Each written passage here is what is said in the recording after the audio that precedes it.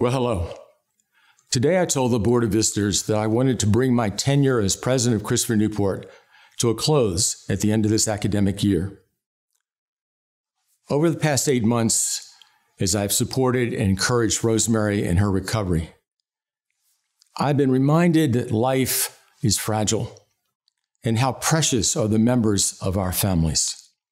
In my case, Rosemary, our daughter Mary Catherine, and son Paul and their families, Barrett and Britt, and especially our grandchildren, Lachlan and Truett, in Camden and Carrington.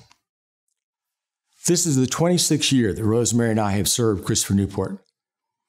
In December, I'll be 75 years old.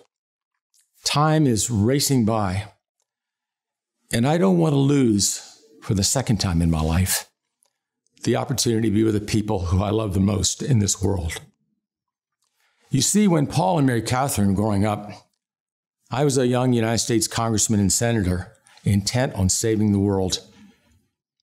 I missed so many special moments with them and Rosemary, and I don't want to let that happen again. As you know, Rosemary and I have poured our hearts and minds into this wonderful place, and we have been blessed beyond measure. We've been blessed by our students the extraordinary young women and men who have graced this campus through the years. We've been blessed by a dedicated and distinguished faculty and are honored to call them colleagues and friends. We've been blessed by a staff that has sprinted from the crack of dawn to late at night, day in and day out, to encourage and support our success. We've been blessed by our alumni our parents, and our many, many friends who have so generously shared their time, talent, and treasure.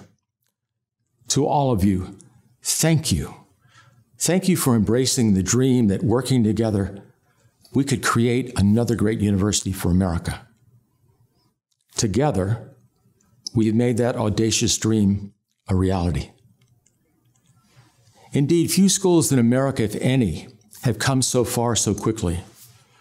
Together, we built rich and rigorous academic programs, a superb and committed faculty, a magnificent campus, vibrant student life, and students that have brought our beautiful campus alive with their energy, their enthusiasm, and their intellect.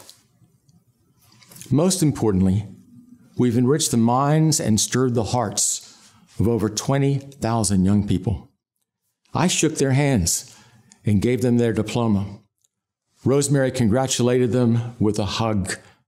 And together, all of us sent them out in the world with hopes and prayers that they would live lives of meaning and consequence and purpose, a life of significance, and make our world a better place.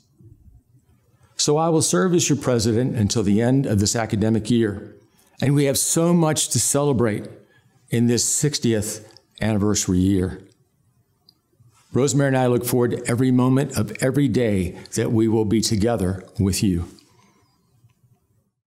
Please know how much I love this place, how much I cherish each of you, how deeply grateful I am for you giving me the most extraordinary, meaningful moments in my life, and how confident I am that Christopher Newport's best years lie ahead.